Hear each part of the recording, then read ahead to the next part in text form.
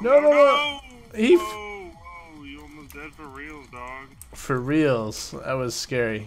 I don't know who he was following, but I was behind the person.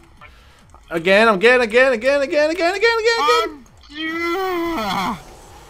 Whoever was doing it was running, and I was running the wrong way. He was after you.